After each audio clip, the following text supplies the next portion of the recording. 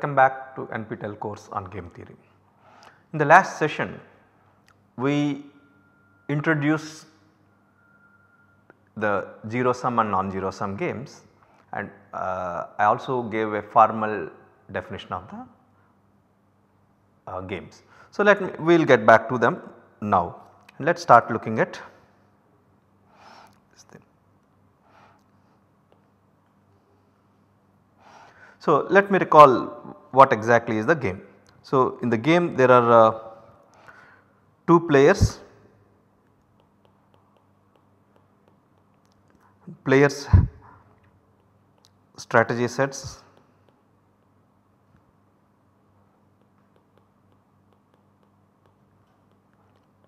x and y. Player 1's payoff is given by pi 1 from x cross y to r and player 2's payoff is pi 2 from x cross y to r and we also introduce the Nash equilibrium. Equilibrium is, is also called Nash, we will come back to the name Nash later.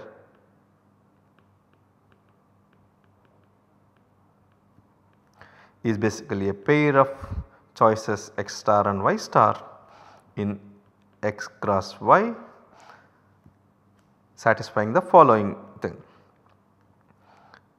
pi 1 x star y star should be a max over x in x of pi 1 x comma y star. Similarly pi 2 x star y star is max of y in y of pi 2 x star y.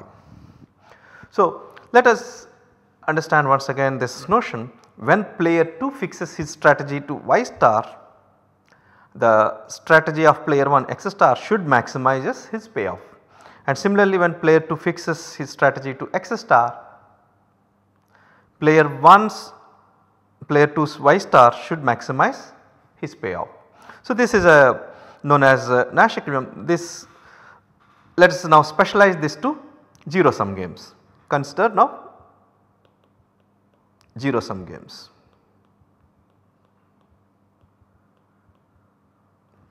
So, recall pi 1 is nothing but minus of pi 2. So, what we have is that x star y star let us take that this is the equilibrium means what we have is that pi 1 x star y star is nothing but max over x in x of pi 1 x y star. Similarly we also have pi 2 of x star y star is max over y of y of pi 2 x star y. Okay. Now recall this pi 2 is same as minus pi 1 x star y star and this is same as minus pi 1 x star y. Now let us elaborate. So what we have is that pi 1 x star y star is greater than or equals to pi 1 x y star for all x in x.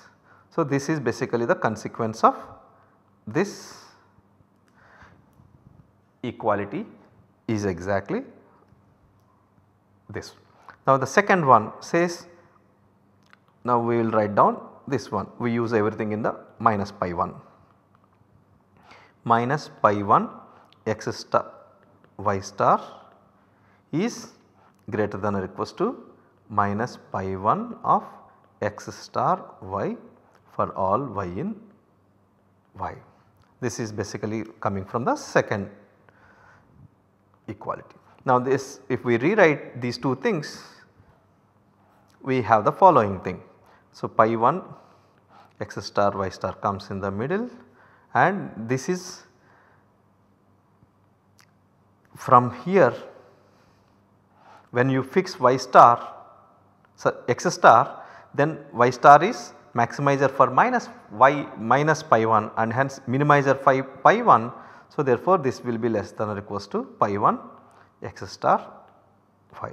Basically the second inequality we have multiplied by minus that is this and now first inequality tells this is less than or equals to pi 1 x y star. Okay.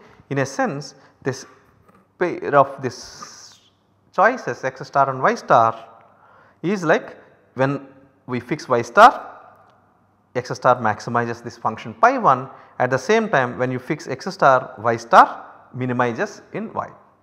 So, in this direct in one direction it is maximizing in the other direction it is minimizing it. So, this is in the calculus we have seen this this is known as a saddle point.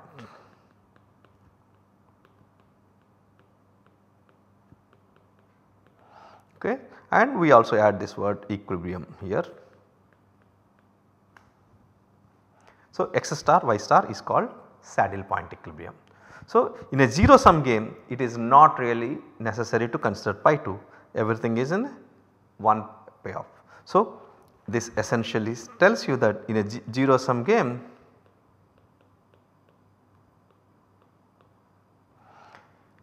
what player 1 tries to maximize his utility function and player 2 tries to minimize the same utility function. But the difference is only in there is only in their choices. Okay. So, there thus 0 sum game means 0 sum game is is a triplet x, y and pi. So, x is basic x is player 1's strategy. I keep using strategy choices and everything but strategy is used for a in a different sense as well. Y is for player 2 and pi is basically x cross y to r is the utility of player 1 it also means that this is a this utility of player 2 because player 1 is maximizing and player 2 is minimizing. And saddle point equilibrium is a pair x star y star in x cross y such that pi x star y star is less than or equals to pi x star y said it will be so x star y star is a pair of choices of player 1 and player 2 respectively such that pi x y star is less than or equals to pi x star y star which is less than or equals to pi x star y. This is true for all x in x, y in y. So, this is the definition. So, from now onwards we will concentrate on this 0 sum games. We will come back to the non-zero sum games later and for some time we will discuss the 0 sum games. Okay. Now first let, let me mention uh, one of the most important result is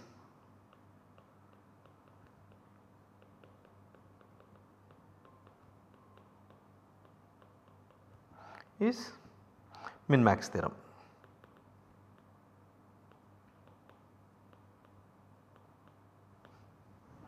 So let me state this theorem let x y be compact and convex subsets of some metric spaces. So, I am writing it in a very general this thing but we will consider restrictions okay and I am assuming I will introduce all this compactness, convexness everything in the context of Rn. We will discuss that but first let me state the theorem and pi is a function from x cross y to r which satisfies the following thing. Pi as a function of x for a fixed y is recall in x we are maximizing so therefore this should be a concave function and this should be true for every y in y. Similarly pi as a function of y is convex function this should be true for every x in x. Okay. Then the theorem says that the min max theorem is that there exists x star y star in x cross y such that pi x star y star is less than or equals to pi x star y which is of course here this side it will be pi x comma y star. This is true for every x in x, y in y. In other words x star y star is saddle point equilibrium for the game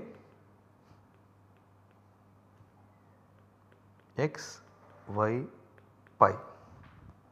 Okay. So, the, the game with strategy sets x and y for the player 1 and 2 respectively and the utility of the player 1 is given by pi then this game has a saddle point equilibrium under this assumptions. okay. x and y have to be compact and convex and pi is a convex function in x variable concave function in x variable for each fixed y and it is a convex function in y variable for each fixed x. So, now let me spend some time on introducing this thing. What is convex?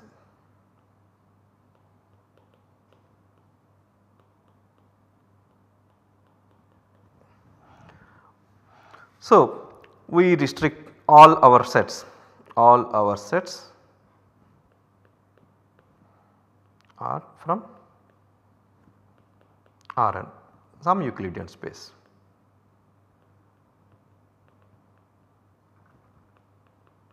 Of course, these can also be extended for, for a general metric space, general topological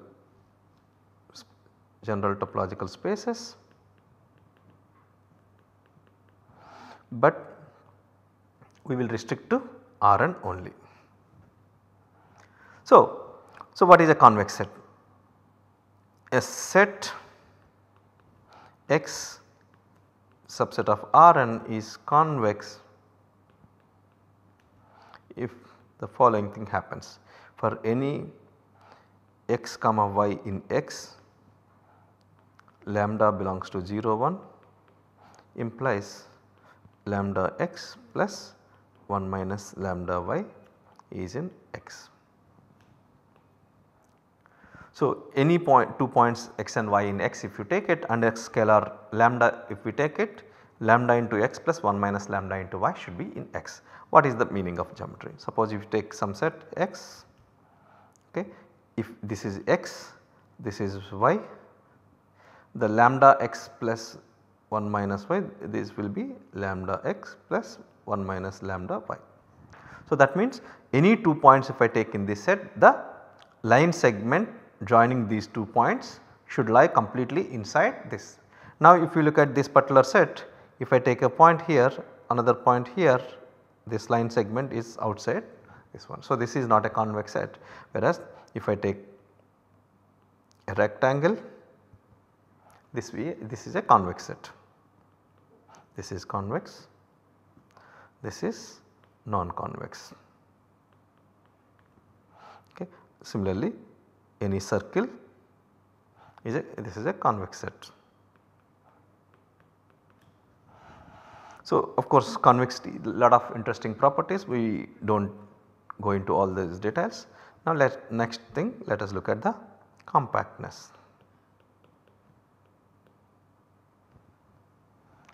So the compactness is a very important thing in many uh, ways. So because we are restricting X is a subset of Rn in, R, in Rn compactness is if and only if closed and bounded. So, a compact a set is compact if and only if it is closed set and bounded set. So, this is a it requires some real analysis uh, at least we assume that the people are already familiar with some aspects of real analysis then they will al already understand this compactness sets but we will only discuss some properties of it. Anyhow before uh, most important thing important characterization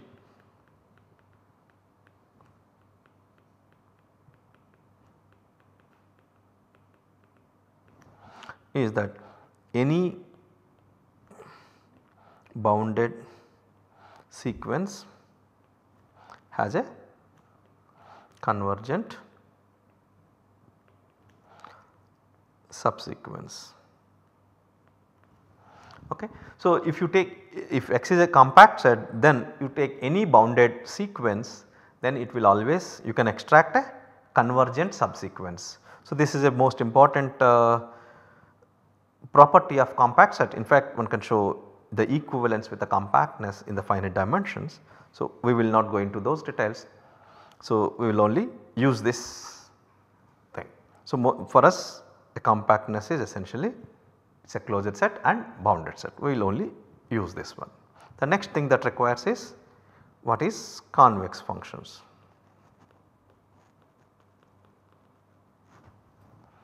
So, take a function f from x to r and x is a basically a subset of Rn it is convex set then f is f is a convex function if it satisfies the following thing. Take any x comma y in x lambda in 0 1 then f of lambda x plus 1 minus lambda y should always be less than equals to lambda into fx plus 1 minus lambda into fy. Okay. So, let us try to understand this again geometrically. So, let us go here. So, this is a let me draw one uh, this thing okay this is a, some function fx okay let us take this is point x this is point y now this is a point lambda x plus 1 minus lambda y. So, this value of this is fx fy this is f lambda x plus 1 minus lambda y. So, now what you take this here okay. So, this will be basically the f lambda fx plus 1 minus lambda fy. So, basically if you take any lambda the this value is here which is f lambda x plus 1 minus lambda y and this is the lambda fx plus 1 minus lambda fy this is always bigger than this. So, that is exactly the the definition of convex function. So, this is the geometrically you can say that. So, in a sense the if you look at it the points lying above all the points above this graph what is this that is known as epigraph of f that is nothing but point x comma r such that fx is less than equals to r this is is convex. The epigraph is convex. So, this is equivalent to f is convex. So, in fact more details you can find it in a course on optimization which you can see it later. So, now we have all the necessary ingredients here. So, recall uh, this thing we have already introduced this compactness and convex and also introduced this con convex function. The next we need to introduce this concave function. Let me just go to that. What is concave function?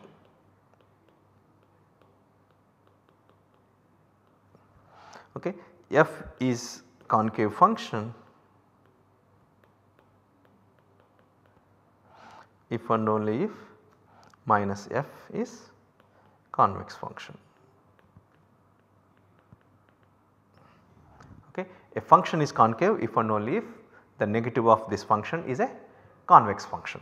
So, uh, if we want to write it formally the condition will be f of lambda x plus 1 minus lambda y is greater than or equals to lambda fx plus 1 minus lambda fy for all x y in x and lambda is in 0 1. Okay. So, then you call this as a concave function. Okay. Now, we have introduced the necessary definitions, but why this convexity? So, the most in interesting thing about the convexity is that what, what is the most important property of convex functions. Any local minimum of a convex function is also a global minimum.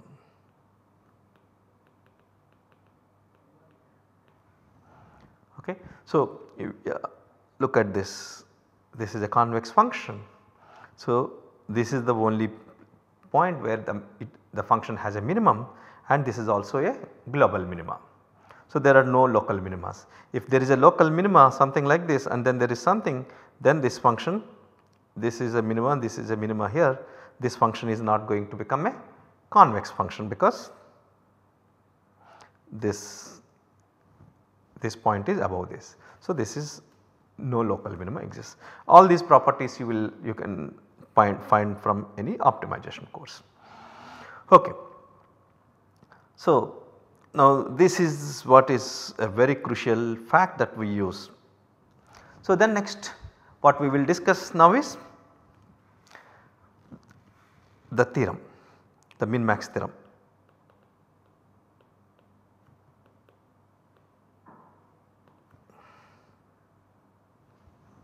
So, let me recall uh, we assume that x, y are compact, convex subsets of Rn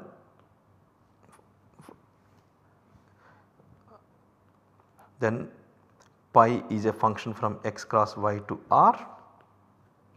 Then there exists x star y star in x, x cross y such that pi x y star is less than or equals to pi x star y star which is less than or equals to pi x star y.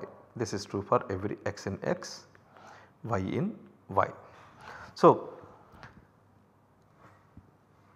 we will specialize this x and y to some specific classes of sets and uh, in fact this is not the first theorem that is proved. So, we need to introduce that notation in order to explain all that. So, let us go to that. So, okay before going that let us understand one small thing this x and y here we are assuming these are convex sets. So, that means there is they are infinite sets but let us look at the matching pennies game.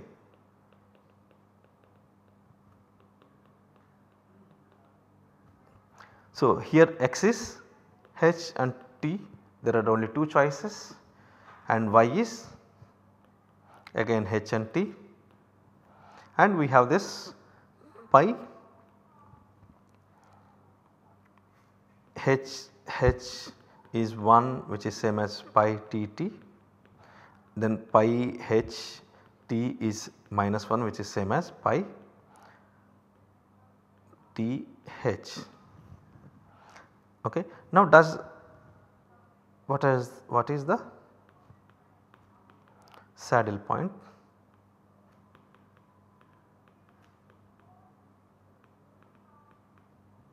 equilibrium.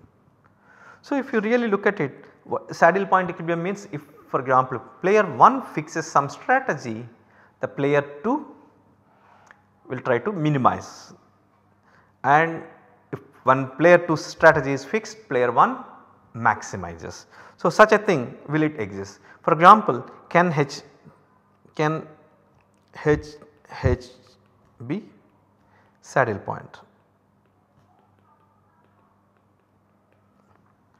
Okay. So let us think player 2 has fixed h h. Then player 1 best thing is to play h. So therefore certainly h is the best response to player 2's h.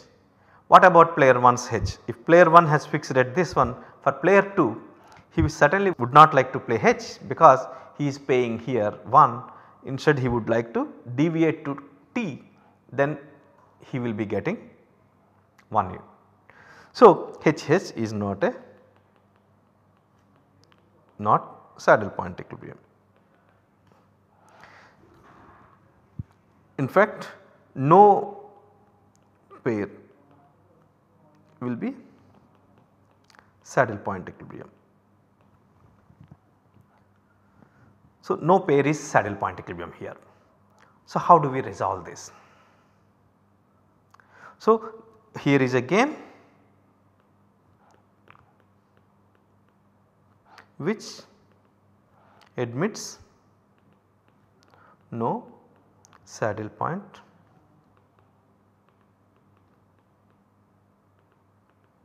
equilibrium. There is no saddle point equilibrium. But the theorem let us go back to the theorem statement. The theorem says this theorem guarantees saddle point equilibrium. So, here if you really look at it there are two things compactness and convexity of the strategy sets and of course here another uh, assumptions we missed is pi should be concave in x convex in y is necessary here. So, these things if you really look at it here in this game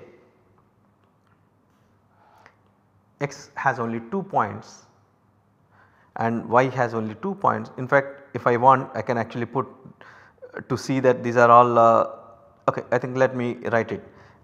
X I can identify with a 0 1 y I can identify with 0 1 and then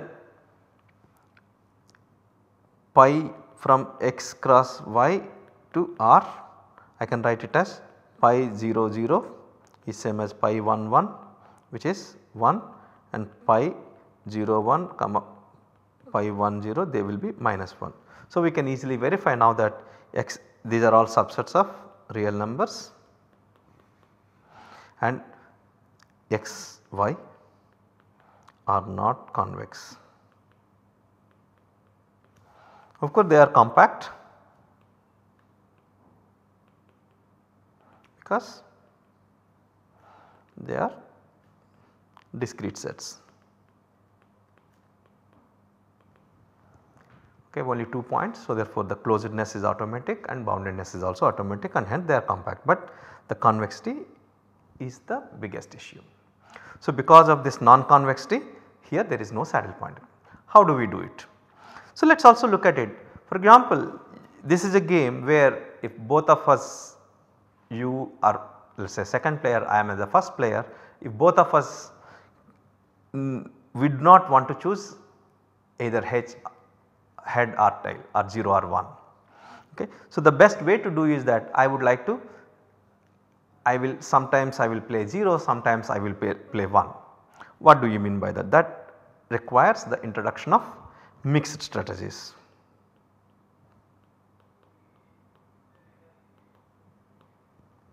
So, what is a mixed strategies? A mixed strategy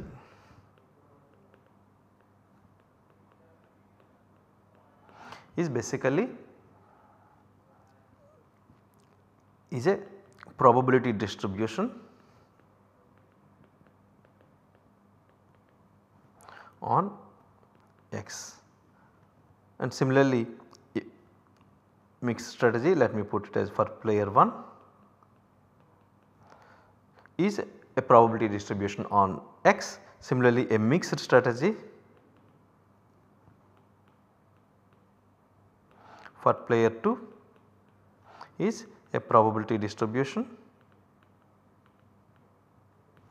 on y. So, let me define what is this one.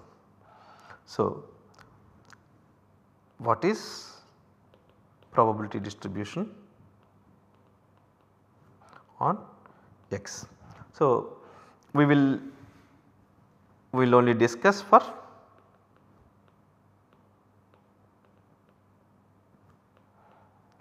discrete sets basically finite sets okay. The if x is continuum